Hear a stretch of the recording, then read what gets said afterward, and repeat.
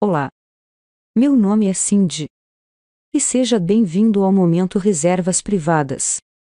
Você sabe o que é uma RPPN? Essa sigla significa Reserva Particular do Patrimônio Natural. É uma categoria de unidade de conservação de domínio privado, com o objetivo de conservar a diversidade biológica, gravada com perpetuidade e criada por um ato voluntário de seu proprietário.